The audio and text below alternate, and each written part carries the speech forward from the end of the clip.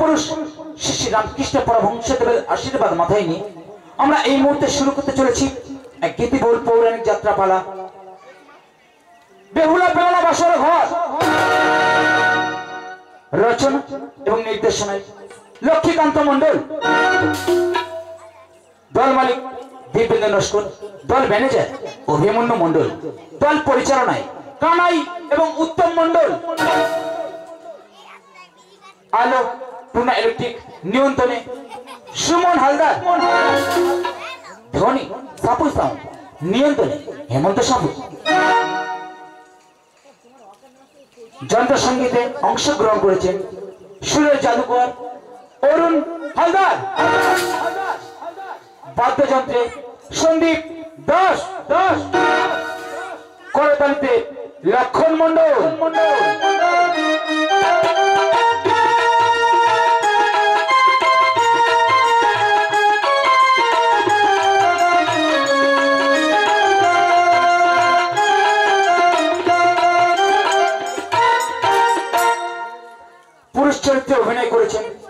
গায়ক নায়ক উত্তম মন্ডল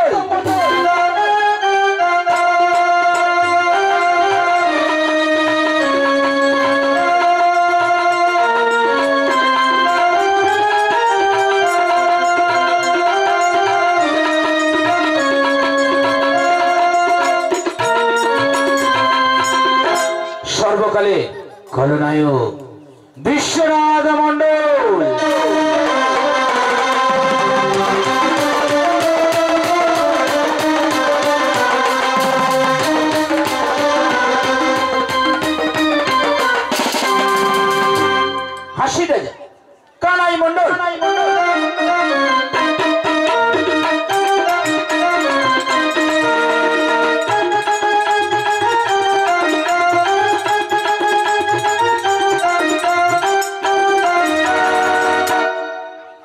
এবং বলিষ্ঠ নয়। ভূপাল তিনি চরিত্রে অভিনয় করেছেন। গায়িকা নায়িকা। ভৌমিক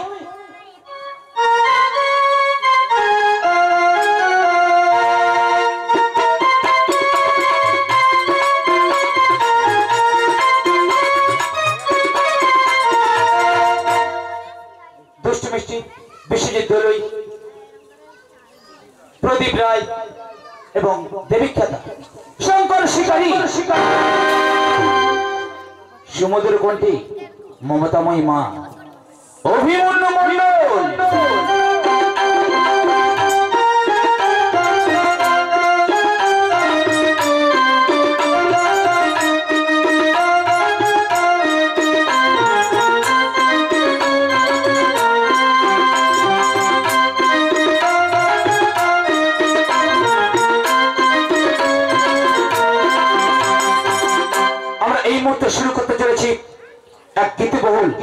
পৌরাণিক যাত্রাপালা।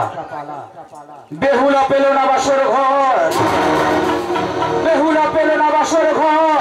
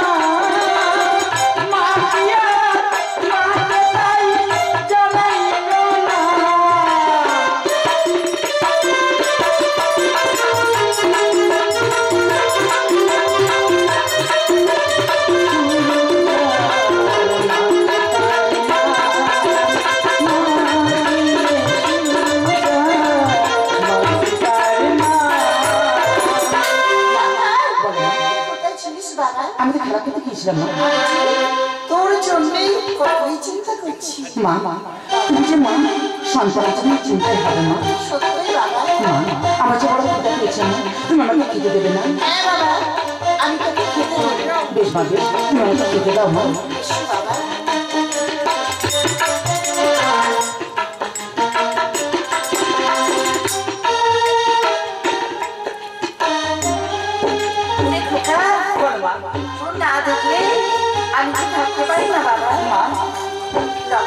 বলো মা চাস বাবা তুমি যা রান্না করেছ? আমাকে তাই খেতে দাও মা বলো মা জন্যে আজ আমি অনেক কিছু তাই নাকি মা। তাহলে বিলম্ব করছ কেন মা? তুমি আমাকে খেতে দাও হ্যাঁ মা। বেশ বাবা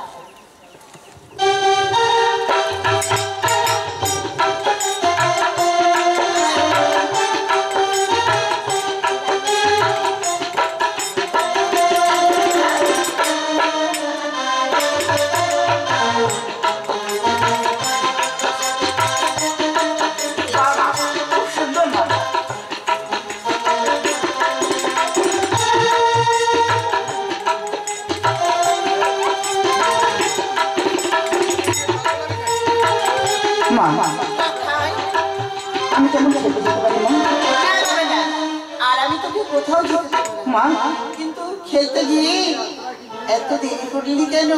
মা? মা? রাখাই বল বাবা বলতে চাস? না মা আমি কিছু বলতে চাই না। না? না মা তাহলে চ। তোর পিতা তোর জন্য বিবাহ আয়োজন করেছি। না! না মা, না আমি এখন বিবাহ করতে পারব না কেন বাবা? কেন? তুই আমার একমাত্র পুত্র তোকে বিবাহ দিয়ে রাজ কার্য তোর পিতাজি তোর হস্তে দিতে চায়। আনন্দের কথা মাগু কিন্তু মাগু তুমি কি জানো তোমার সন্তানের একটি মনের বাসনা আছে? মনির বাসনা? হ্যাঁ। কি তোর বাসনা বাবা? আমার মনের বাসনা এই যে আমি এক সপ্তাহ চলে যাব সেই মনে প্রতিমা। না, আজ আমি ছয় ছয়টি পুত্রকে হারিয়ে তোকে বুকে পেয়েছি। মা, তোকে আমি কোথাও যেতে দেবো না বাবা। তোমার কোনো কথা শুনব না মা। তুমি একটিবার আমাকে হাসি মুখে বিদায় দাও আমাকে একটিবার হাসি মুখে বিদায় দাও।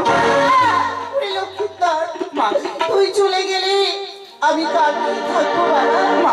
আমি তোকে যেতে দেব না। না না। আমি তোমার পায়ে ধরে অনুরোধ করছি মাগো তুমি একটিবার আমাকে বিদায় দাও মা। বিদায় দাও। তোরে লেখা।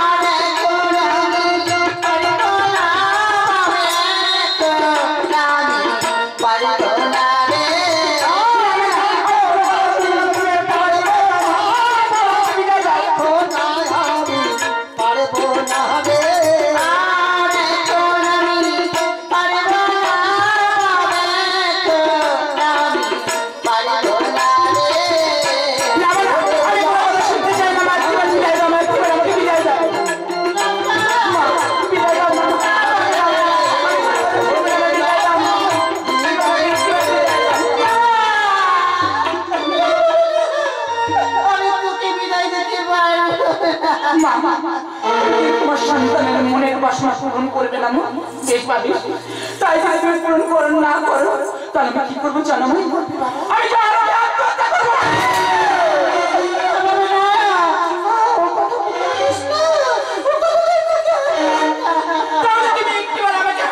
বিদায় দাও না মা। বিদায় দিতে পারি। কিন্তু তোরা ফিরে আসিস, বাবা। বেশ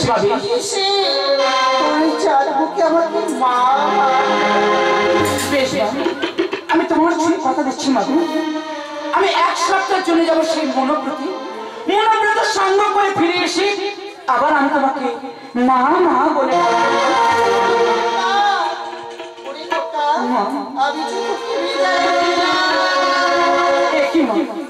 তুমি কাঁদছো?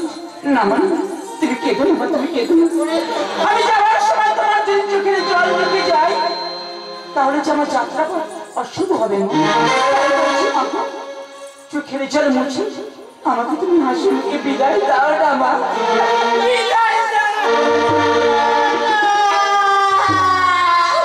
তাহলে এখন আমি আসি মা মা। তাহলে এখন আমি আসি মা ইসু বাবা। এখন আমি আসি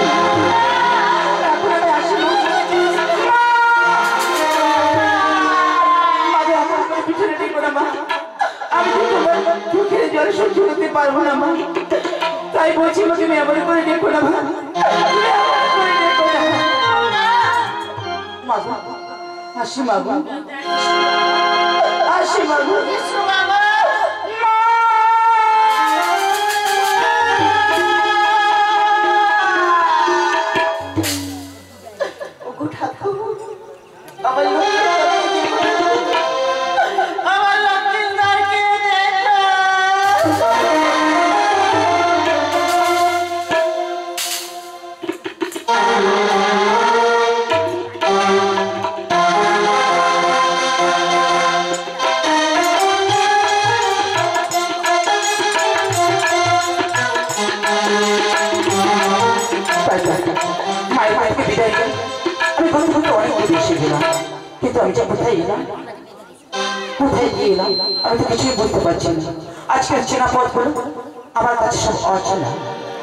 মনে চেনা কথা চলে যা। লাগে অচেনা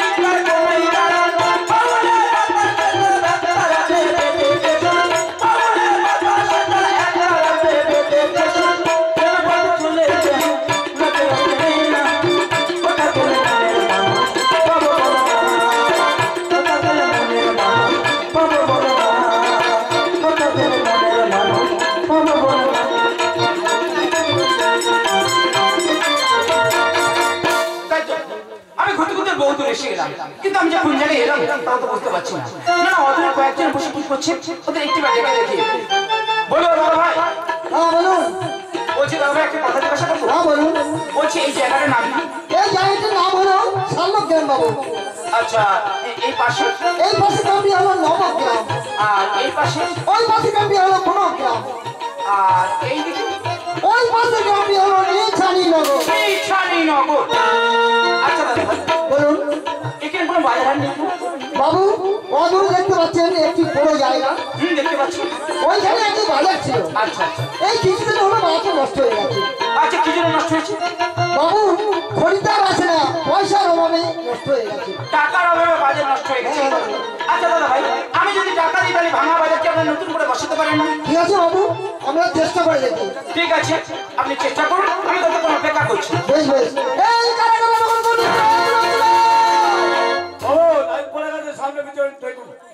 নমস্কার আমরা বসুন।